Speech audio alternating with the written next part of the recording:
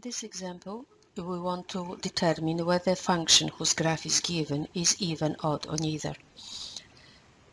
The graph is clearly not symmetric with respect to y-axis, so this function is not even.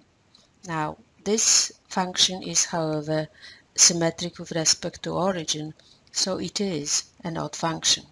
To notice that symmetry, you can choose a point or any point on the graph. Let's say I will choose the point over here. This is the point AB. Now it looks like this point is negative 2, has x coordinate negative 2 and the y coordinate 5.5. Now and uh, see what is the point symmetric with respect to origin to that point to find the point symmetric with respect to origin to point AB, we need to draw the line. Through the origin and that point.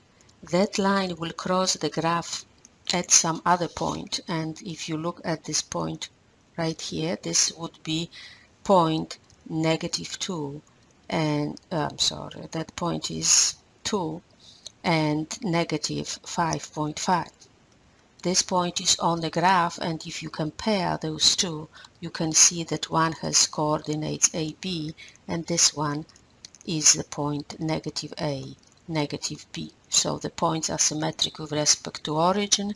This is uh, an odd function.